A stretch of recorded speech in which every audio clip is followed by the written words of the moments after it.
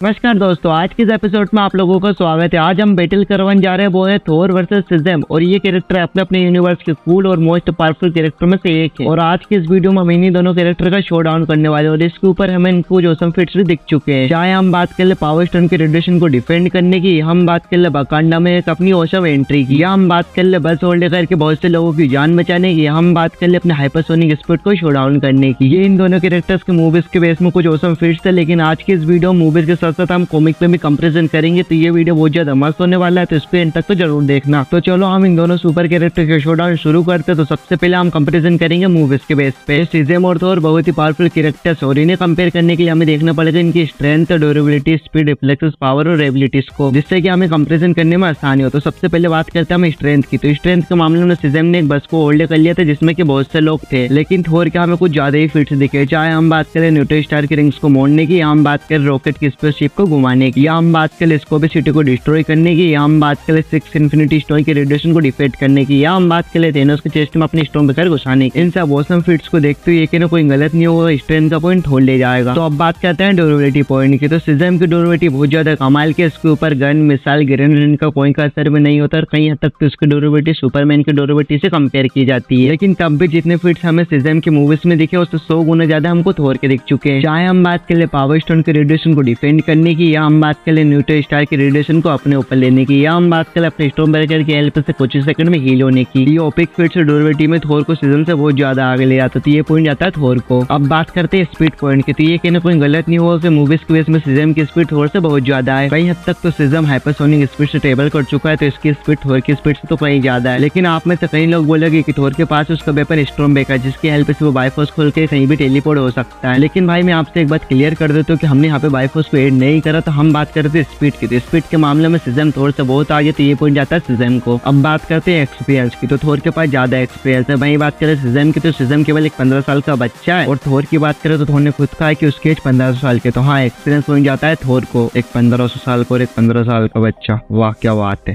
अब बात करते हैं इनकी पावर्स की। तो वैसे तो ये दोनों लाइटिंग मैनिपुलेशन कर सकते हैं, लेकिन थोर की लाइटिंग मैनिपुलेशन सिजम से बहुत आगे है। यहाँ की थोर की पूरी बॉडी से लाइटिंग निकलती है, मगर सिजम के साथ ऐसा कुछ नहीं होता। और इसके ऊपर थोर रग्नरोक में थोर गॉड ऑफ़ हेमर से गॉड ऑफ़ थंडर भी बना। थोर अपने मिलोनियर की हेल्प से लाइटिंग मैनिपुलेशन कर सकता है, और स्टोम ब्रेकर के तो क्या ही कहना उसके ओसम फिट्स तो हम देख ही चुके हैं। चाहे हम बात कर ले बकांडम अपनी एक ओसम एंट्री की, या हम बात कर ले आउटडर्स को मारने की, या हम बात कर ले थेनोस की में अपने स्टोन ब्रेकर घुसाने की, या हम बात कर ले सिक्स इन्फिनिटी स्टोन के रेडिएशन को डिफेंड करने की। तो ये सब चीज़ें मिलाकर थोर को सीज़न से बहुत आगे ले जाते हैं। तो अब बात कर लेते हैं, अगर मूवीज़ के बेस में इनकी बैटल होगी तो इन दोनों में से कौन विनर होगा? तो सीज़न थोर से बस एक ही पॉइंट में आगे, जो कि उसकी हाइपरसोनिक स्पीड लेकिन थोर की बात करें तो थोर स्ट्रेंथ ड्यूरेबिलिटी एक्सप्रेस और पावर्स में सीज़न से बहुत आगे है। तो हाँ मूवीज़ के बेस में थोर सीज़न को बीट कर देगा, लेकिन अब बात करते हैं कॉमिक के बेस में। अगर कॉमिक के बेस में इन दोनों कैरेक्टर्स कभी फाइट हुई तो इन दोनों में से विनर कौन होगा? तो हम कॉमिक में इनके सिंपल वर्जन के बीच ही कंपेरिजन करेंगे, क्योंकि अगर मैं इनके मोस्ट पावरफुल वर्जन के बीच कंपेरिजन करूँगा तो ये वीडियो में कुछ चैप्टर वाइज करना पड़ेगा। जो कि मैं अभी नहीं कर सकता, लेकिन अगर आप चाहते हो कि मैं इनके मोस्ट पावरफुल वर्जन के बीच कंपेरिजन करूँ तो आप कमेंट सेक्शन में ज़रूर बताएँ। मैं इसके ऊपर ज़रूर न्यू वीडियो लाऊँगा। तो चलो अभी इस बैटल की शुरुआत करते हैं। तो कॉमिक में थोर की स्ट्रेंथ के फिट्स हमें काफ़ी ज़्यादा औसम दिख चुके हैं। चाहे हम बात कर ले माइटी थोर कॉमिक में गैलेक्टस को डिस्ट्रॉय करने की, या हम बात कर ले सिल्वर सर्पर के स्पीड बोर्ड को तोड़ने की, या हम बात करें वर्ल्ड इंजन को पुश करने की, या हम बात कर ले